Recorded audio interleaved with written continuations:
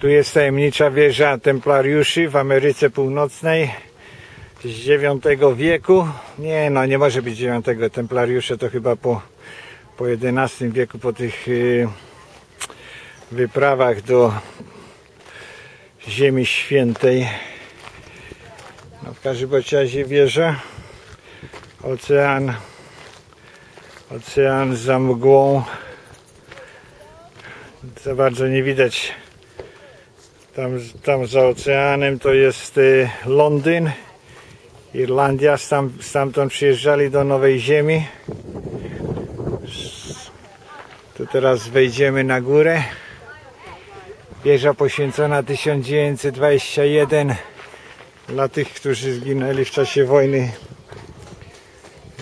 I wojny światowej.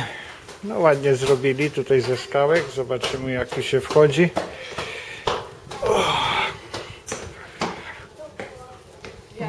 Betonowe. Nowy świat.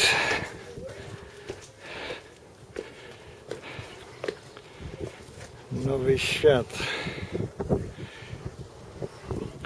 Ameryka Północna, wschodnie wybrzeża, czyli górki, małe górki i ocean.